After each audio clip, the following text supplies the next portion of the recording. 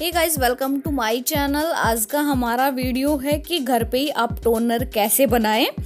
त्वचा में गर्मी के चलते हैं, अक्सर थकावट हो जाती है। अभी गर्मी का टाइम चल रहा है तो हमारी स्किन है वो मुरझाई सी रह, हो जाती है स्किन पसीने के कारण, गर्मी के कारण है, वो बिल्कुल थका थका लगता है हमारा चेहरा। इस कारण चेहरा मुरझाया हुआ सा लगता है थकावट के कारण। त्वचा को आप साफ़ और खिला हुआ रखने के लिए घरेलू टोनर है, वो आपके काम आ सकते हैं। बहुत काम आते हैं घरेलू टोनर और बहुत इजी है बनाना इन्हें। बहुत आसान है ये आपके चेहरे को बिल्कुल खिला खिला रखने के काम आएँगे। और ये सेफ़ भी हैं बाहर से नहीं लाना पड़ेगा आपको पैसे खर्च नहीं करने पड़ेंगे। तो चलिए स्टार्ट करते हैं। आपको बताती हूँ कि गर्मी में आप कौन कौन से टोनर है वो कैसे बना सकते हैं और आ, कौन कौन से इस्तेमाल कर सकते हैं। फ़र्स्ट है आपका तुलसी टोनर तो यदि आपकी स्किन है, वो तेलिए है और आपके चेहरे पे मुहासे हैं और गर्मी में और ज़्यादा तेलिए होने लग जाती है आपकी जगह तेली है तो तो तुलसी की पत्तियों से बना टोनर है, वो आपके लिए बहुत ज़्यादा फ़ायदेमंद होगा। पत्तियों को क्या करना है, आपको तुलसी की पत्तियाँ ले लीजिए, उनको पानी में उबाल लीजिए और जब थोड़ा ठंडा हो जाए, वो उबलने के बाद अच्छे से उबल जाए, उसके बाद आप उस पत्तियों को आप पाँच मिनट तक अच्छे से उबाल लीजिए और उबल जाएँगे, उसके बाद ठंडा होने दें। ठंडा होने के बाद में छान के आप स्प्रे बोतल कोई छोटी बोतल होती है, स्प्रे बोतल कोई भी ले लीजिए, उसमें डाल लीजिए। उसको भर के रख लीजिए आप। दिन में दो तीन बार आप इसका यूज़ कर सकते हैं। आप ऑफ़िस जाती हैं तो साथ में इसको लेके भी जा सकती हैं छोटी बोतल में डाल के। आप जब भी आपको थकावट महसूस हो, चेहरे पे इसका स्प्रे कर सकती हैं। ये आपके स्किन के लिए गर्मियों में आपकी स्किन को या चेहरे को रिफ्रेशिंग कर देगा। नेक्स्ट है कि पुदीना भी आप यूज़ कर सकते हैं। तो पुदीने की पत्तियों को भी आप वैसे ही पानी में अच्छी तरह से उबाल लीजिए। फिर पानी थोड़ा ठंडा हो जाए तो फ्रिज में रख दीजिए। और जब वो नॉर्मल हो जाए सामान्य हो जाए तो आप इसे आप बोतल में वैसे ही भर के रख सकते हैं। तो उसे आप रुई की मदद से भी चेहरे पे लगा सकते हैं या फिर स्प्रे बोतल से भी यूज़ में ले सकते हैं। तो ये टोनर भी आपकी जो स्किन, सूखी स्किन होती है, शुष्क त्वचा होती है, उनके लिए बहुत ज़्यादा फ़ायदेमंद होती है। पुदीना आपका। नेक्स्ट है आपका कि नीम।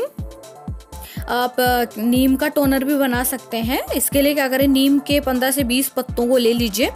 और पानी का रंग जब तक हरा नहीं हो जाता, तब तक उबालना है आपको। आपको खुद पता चल जाएगा, पानी का कलर है, वो चेंज हो जाएगा। इस पानी को ठंडा कर लीजिए और बोतल में भर लीजिए। इस आप प्राकृतिक टोनर को आप रोज चेहरे पे लगाएँ, इससे आपका तेलिएपन है, वो कम होगा रिफ्रैक्शन रहेगा, आपका चेहरा बहुत ही खिला खिला रहेगा और नीम वैसे भी आपके चेहरे के लिए बहुत अच्छा रहेगा, आपकी कील मुहासे नहीं होने देगा आपकी स्किन के लिए। तो ये एक आयुर्वेदिक है नीम, बहुत अच्छा रहता है आपकी स्किन के लिए, फोड़े, फुंसी, कुछ भी नहीं होगा आपके चेहरे पर नेक्स्ट है खीरा।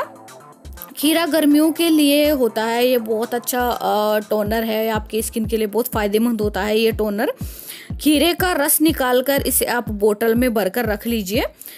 या फिर कद्दूकस कर लीजिए और कद्दूकस करके आइस क्यूब जमा लीजिए।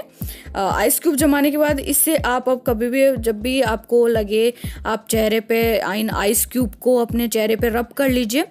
या फिर खीरे के रस को आप रुई में भिगोकर आँखों पे भी रख सकते हैं तो यह आपके आँखों के लिए भी बहुत ज़्यादा ठंडक प्रदान करेगा और आपके ठंडक मिलेगी, आपको आपके चेहरे के लिए भी बहुत फ़ायदेमंद होता है।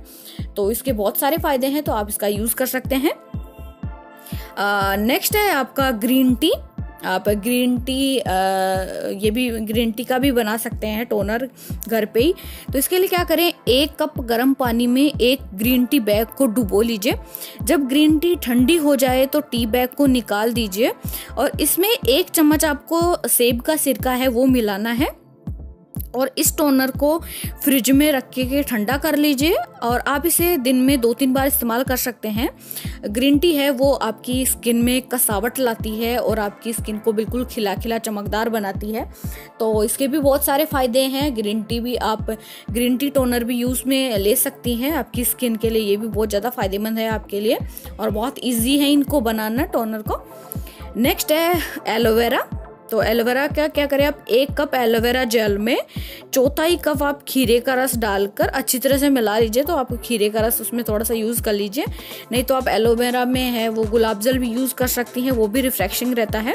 और इस टोनर को क्या कर सकती हैं? आप चेहरे और गर्दन पर लगाएँ या फिर रुई से लगा लीजिए या फिर स्प्रे बोतल में डाल के स्प्रे कर सकती हैं। इससे आपके चेहरे की क्या होगी? गंदगी साफ़ होगी और थोड़ी देर बाद में आप चेहरे को धो सकती हैं तो आपके चेहरे के लिए ये भी बहुत ज़्यादा फ़ायदेमंद होता है गर्मियों के टाइम में। बहुत ईजी है फ्रेंड्स इनको बनाना।